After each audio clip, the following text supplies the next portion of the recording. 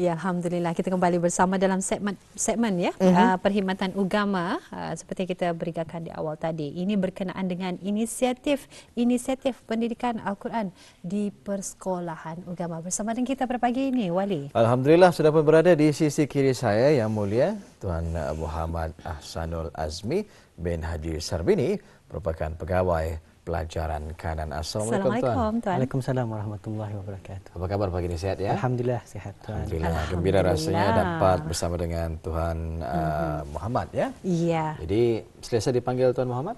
InsyaAllah boleh. Tuan. Boleh ya. InsyaAllah. Jadi uh, mm. pertama kita ingin mengucapkan selamat datang dan juga ribuan terima kasih mm-hmm. uh, atas masa yang diluangkan pagi ini bersama dengan kami berdua begitu juga penonton di rumah ya uh, yang menyaksikan walau di mana jauh berada lah yeah. ya uh, bersama dalam uh, segmen perkhidmatan agama satu tajuk mm-hmm. yang menarik untuk yeah. kita uh, ketahui bersama inisiatif-inisiatif pendidikan Al-Quran di persekolahan agama ya.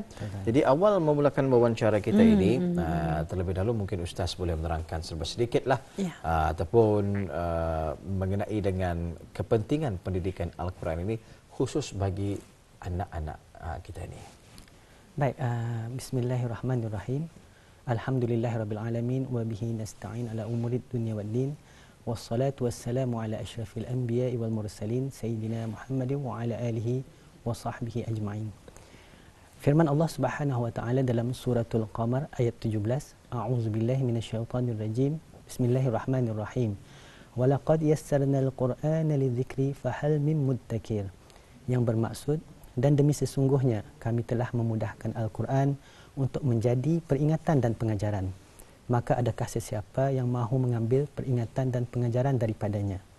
Dan daripada Abu Umamah radhiyallahu anhu ia mendengar Rasulullah sallallahu alaihi wasallam bersabda Iqra'ul Quran fa innahu ya'ti yaumal qiyamah syafi'an li ashabi yang bermaksud bacalah Al-Quran kerana sesungguhnya ia akan datang pada hari kiamat sebagai syafaat kepada para pembacanya.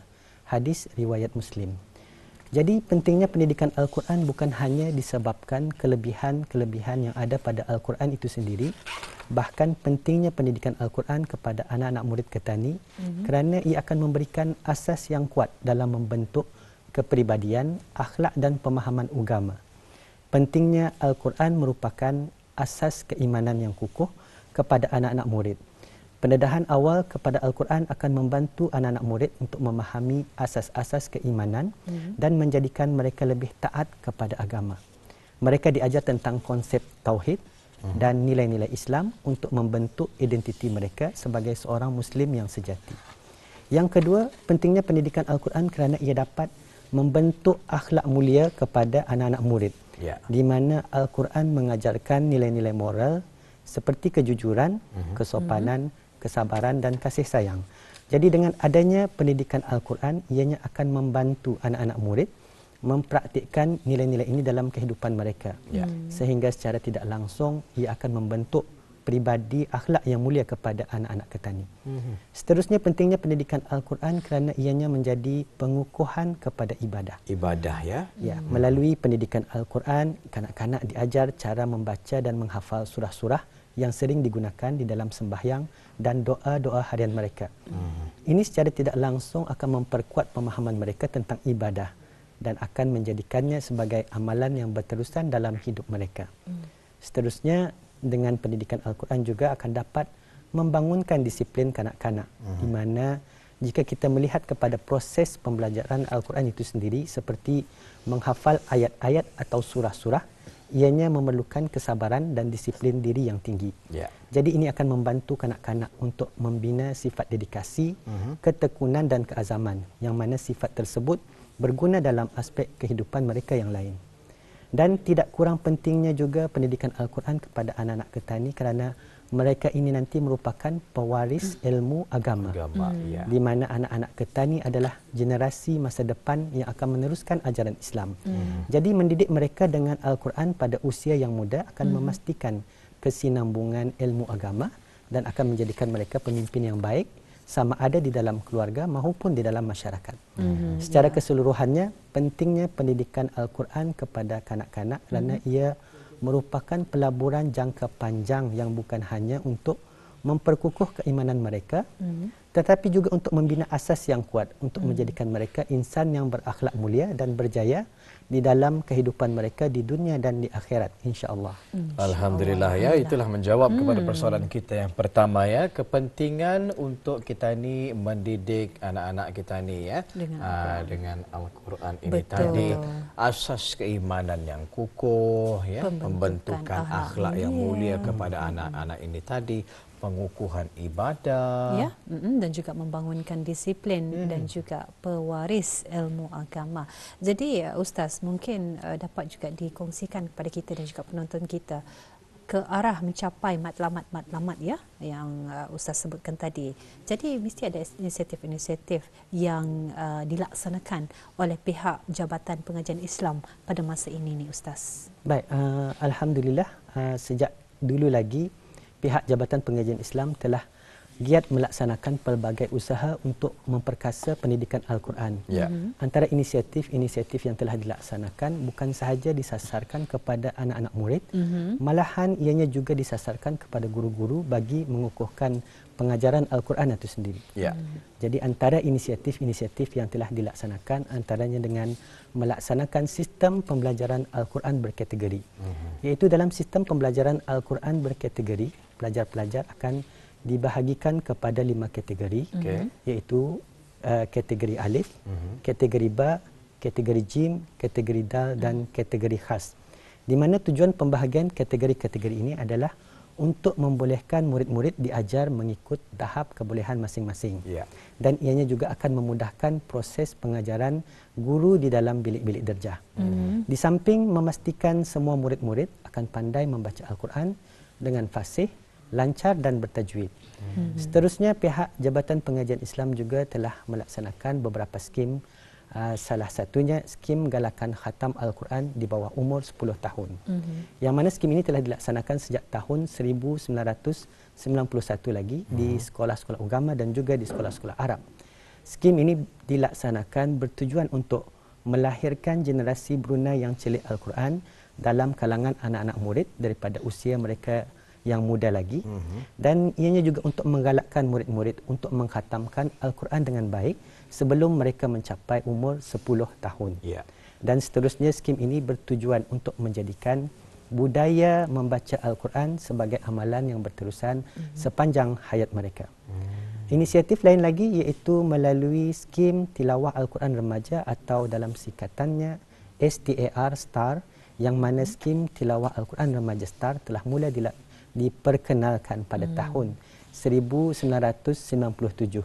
Ia disasarkan kepada pelajar-pelajar yang berumur 12 tahun ke atas yang mencapai kriteria penilaian yang telah ditetapkan. Dan mereka ini akan mengikuti skim tersebut dalam peringkat asas selama 2 tahun. Yeah. Skim tilawah Al-Quran Remaja Star telah dijalankan pada setiap hari Jumaat dan Ahad dan dalam skim ini pelajar-pelajar dilatih dan dibimbing dalam pembacaan Al-Quran menggunakan lagu-lagu tilawah Al-Quran yang masyhur. Mm-hmm. Dan mereka ini dihasratkan untuk menjadi pelapis qari dan qariah negara peringkat kebangsaan nanti insya-Allah. Mm-hmm. Kemudian antara inisiatif lain lagi iaitu program satu minggu satu juzuk yang mana program ini disasarkan kepada murid-murid yang boleh membaca Al-Quran dengan baik yeah. dan boleh menghatamkan Al-Quran dalam tempoh waktu yang telah ditetapkan mm-hmm. iaitu selama lebih kurang 30 minggu. Mm. Murid-murid akan dibimbing secara konsisten sehingga mereka mengkhatamkan Al-Quran. Dan bagi murid-murid yang mempunyai potensi bacaan Al-Quran di tahap sederhana, mereka akan mengikuti program satu bulan satu ikra. Mm-hmm. Di mana mereka ini akan menyelesaikan pembacaan buku ikra dalam tempoh yang satu ditetapkan uh, bukan selama lebih kurang enam bulan. Enam bulan. Uh, okay, dan murid-murid akan dibimbing oleh guru sehingga selesai pembacaan mereka mm-hmm. dari buku Iqra 1 hinggalah kepada buku Iqra 6. Mm-hmm. Jadi inilah antara inisiatif-inisiatif yang telah dilaksanakan pihak Jabatan Pengajian Islam. Alhamdulillah hmm, ya Alhamdulillah. beberapa inisiatif ya. telah pun kita ketahui uh, bersama tadi ya.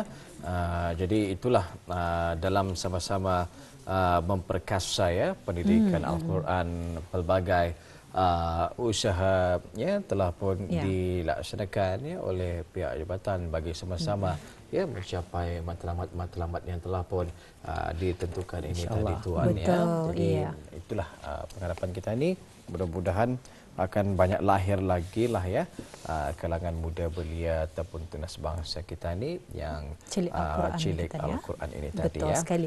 Tapi uh, kita masih lagi dalam segmen perkhidmatan agama uh, membincangkan dan juga me, me, apa, mengongsikan berkenaan dengan inisiatif-inisiatif pendidikan Al-Quran di persekolahan agama. Masih lagi bersama dengan Tuan Muhammad.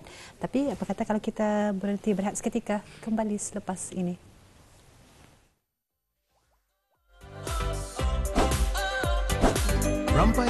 Inspirasi Pagi Auda.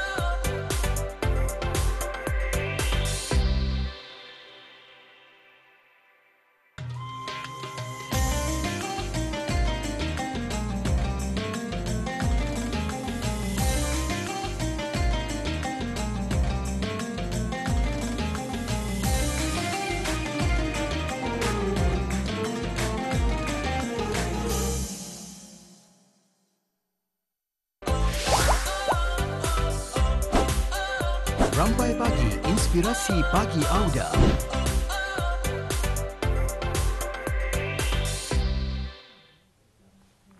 Baik, Alhamdulillah kita kembali bersama uh, dalam uh, segmen perkhidmatan agama. Mm-hmm. Masih lagi bersama kita pagi ini yang mulia uh, Ustaz Muhammad Ahsanul Azmi bin Haji Sarbini, Ya. pegawai pelajaran kanan ya uh, untuk mengongsikan uh, serba sedikit dalam segmen perkhidmatan agama ini inisiatif-inisiatif pendidikan Al-Quran di persekolahan agama.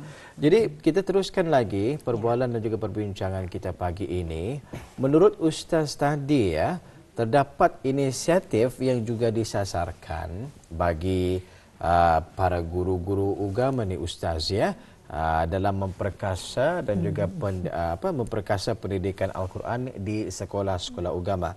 Uh, jadi dalam temu bual kita ini mungkin ustaz boleh uh, mengongsikan dengan lebih lanjut lagi apa dia uh, inisiatif-inisiatif yang disasarkan bagi guru-guru agama dalam memperkasakan pendidikan Al-Quran di sekolah-sekolah agama ini. Silakan Ustaz. Baik, uh, Alhamdulillah di samping inisiatif-inisiatif yang disasarkan kepada murid-murid yang telah disebutkan tadi, Okey, ya. memang terdapat juga inisiatif yang disasarkan kepada guru-guru iaitu antaranya program tahsin kiraatil Quran bagi guru-guru sekolah agama. Ia telah mulai dilaksanakan pada tahun 2021. Program tahsin kiraatil Quran bagi guru-guru sekolah agama dilaksanakan bagi meningkatkan pengetahuan dan kemahiran guru-guru dalam pembacaan Al-Quran khususnya dari segi fasahah, makhraj huruf dan hukum-hukum tajwid. Ianya juga untuk meningkatkan kemahiran pembacaan Al-Quran di kalangan guru-guru yang mana kemahiran ini nanti akan mereka serapkan ke dalam pengajaran dan pembelajaran di bilik-bilik darjah. Ya.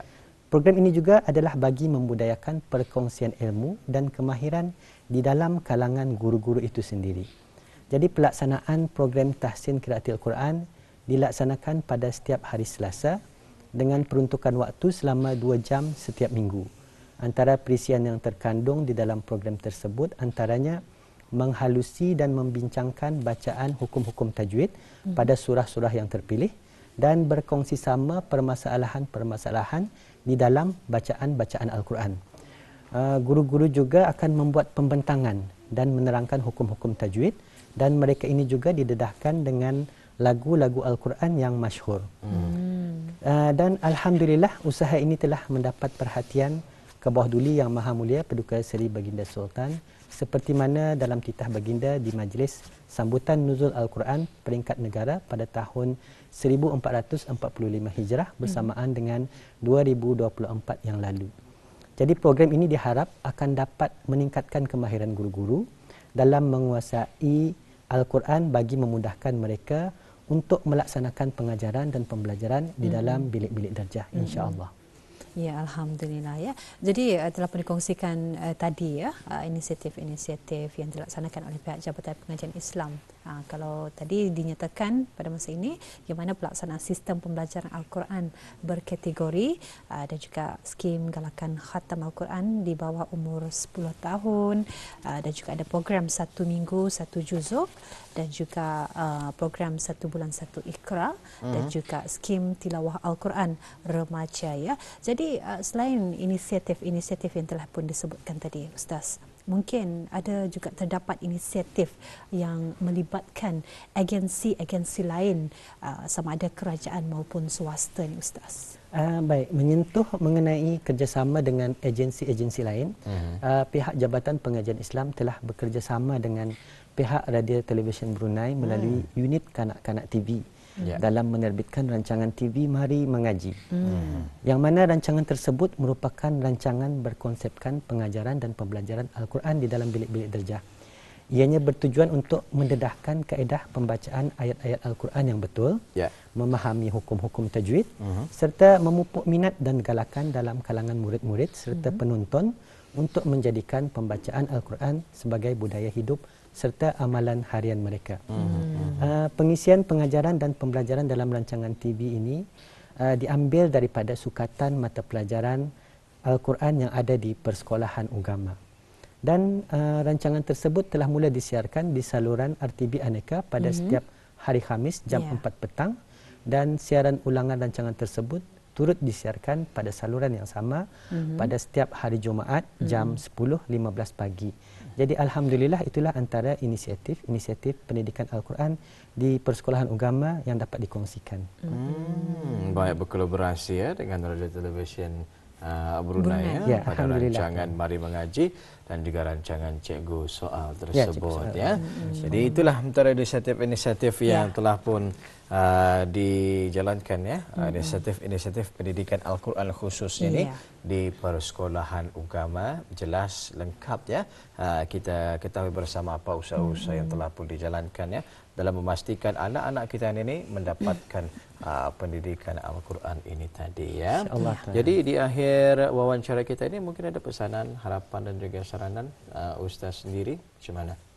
Uh, harapan saya sendiri uh, semoga Ketani di negara Brunei Darussalam akan terus dapat sama-sama Ketani memperkasa pendidikan Al-Quran di negara Ketani mm-hmm. dan sama-sama Ketani mendidik anak-anak bangsa Ketani, anak-anak anak-anak Ketani yang masih umur yang masih tunas di, lagi, ya, masih kecil mm, lagi. Ya Tuhan, semoga mereka ini akan menjadi pewaris ataupun uh, satu pelaburan jangka panjang kepada ya. negara Ketani untuk mereka dengan didikan Al-Quran kepada mereka hmm. itu sendiri insyaallah tuan insyaallah amin amin amin amin ya rabbal alamin itu pun jualah ya. ya yang kita ni uh, harapkan ya Mahirah. Betul ya. sekali. Jadi kita harapkan mudah-mudahan pelaksanaan program-program yang telah pun dilaksanakan ya uh, seperti ini akan dapat menambahkan lagi nilai-nilai keunggulan diri uh, dan keberanian serta kehebatan ya generasi celik Al-Quran uh, di sampingnya kita ini menjadikan uh, mereka ini uh, dalam kalangan uh, orang-orang yang beruntung di dunia Betul. maupun di akhirat. Betul Amin. Ya sekali ya. Selama mana ya. mereka ini berpegang kepada Al-Quran dan juga hadis, mereka ini tidak akan uh, sesat ya. ya Jadi apapun ribuan terima kasih kita ucapkan buat yang mulia hmm. Tuan Muhammad uh, Ahsanul Azmi bin Haji Sarbini hmm. ke pelajaran kanan ya. sudah meluangkan uh, masanya Allah. bersama dengan kita berdua pagi hmm. ini dalam segmen perkhidmatan agama insyaallah Uh, jika ada kesempatan, ruang dan juga peluang nanti hmm. uh, mungkin kita ni boleh bersama lagi lah uh, dengan mengongsikan uh, tajuk yang lain hmm. pula. Assalamualaikum. Waalaikumsalam warahmatullahi wabarakatuh.